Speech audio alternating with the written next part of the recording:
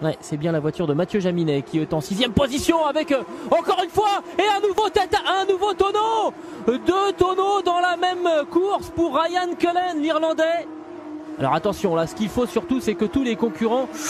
Oh là là là là, ça a été très chaud pour Steven Palette, qui est qui est en difficulté dans cette chicane, qui part dans le bac à gravier, qui revient euh, euh, de manière un petit peu incontrôlée sur la piste, et Ryan, il vient percuter.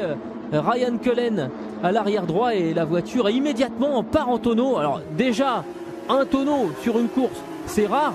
Deux dans la même épreuve, c'est quand même assez incroyable. Bon, Notre ami Dylan Pereira. Évidemment, c'est toujours plus facile d'analyser